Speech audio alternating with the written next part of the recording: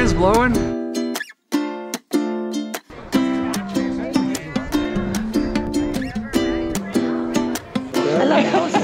Yeah.